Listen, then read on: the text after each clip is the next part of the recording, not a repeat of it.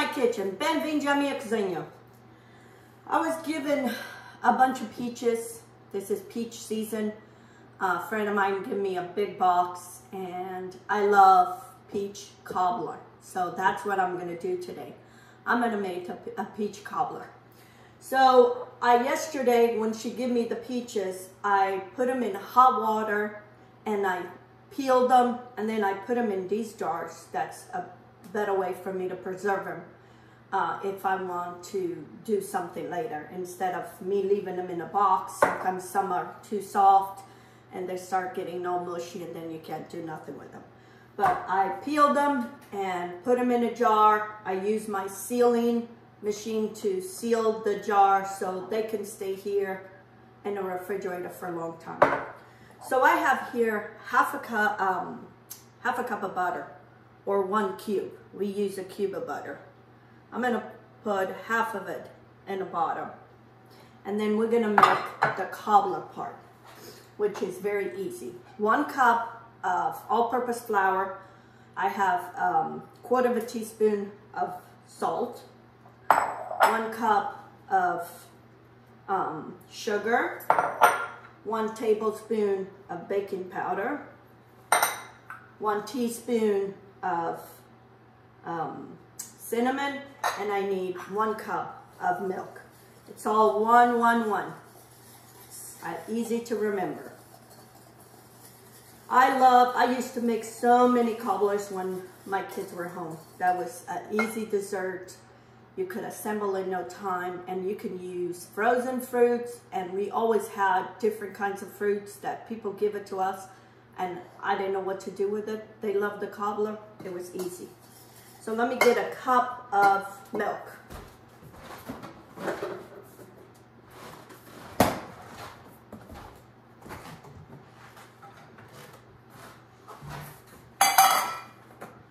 So to this, I'm going to add one cup of milk.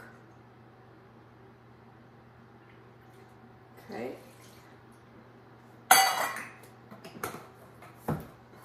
Um, and you, if you're gluten-free, you can substitute the flour for gluten-free flour.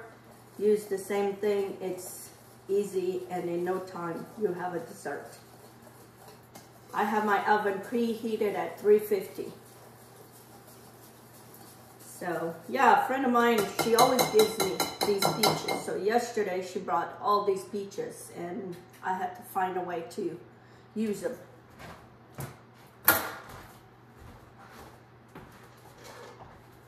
My oldest son, I was one of his favorite because they would eat that, this with a scoop of ice cream and in no time I had a dessert. When my kids were home, they had to have dessert uh, every night. Could have been cookies, it could have been brownies, but they had to have dessert. So I always made some for them.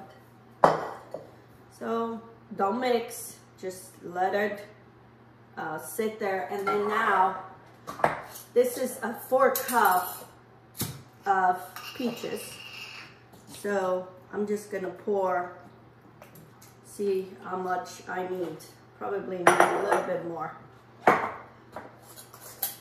um, of peaches. You can take the juice out if you want to, but I put everything. Get a scoop, and take some of the fruit. Add more fruit to it. Okay.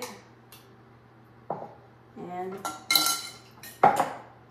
I'm gonna bake this probably an hour.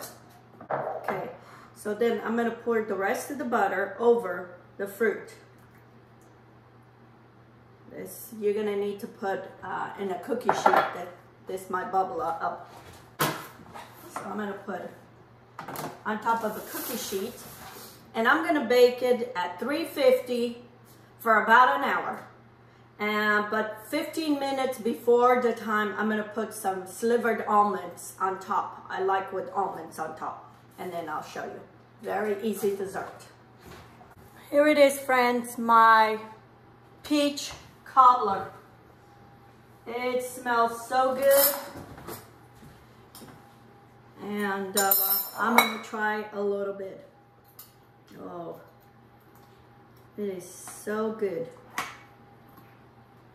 It took an hour and 15 minutes. Um, the last 15 minutes, I covered my pan with some foil because I didn't want to um, to get too dark. The middle is so gooey. How this taste. This with a scoop of ice cream. This is gonna be hot. I know already. Mm.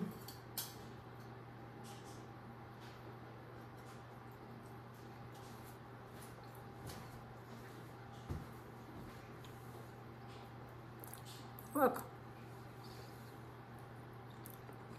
I wish you could taste and smell. These were white peaches, but you can do with any kind of peach, with any kind of fruit. A peach cobbler, and in no time you have a dessert.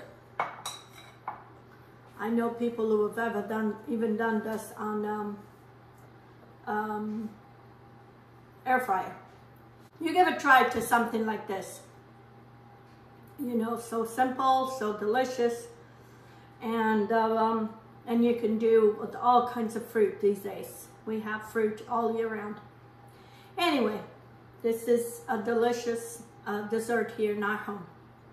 If you haven't subscribed to my channel, please do give me some thumbs up, share my videos on your social media and with your friends and family. Until next time, let's get cooking. Have a good day.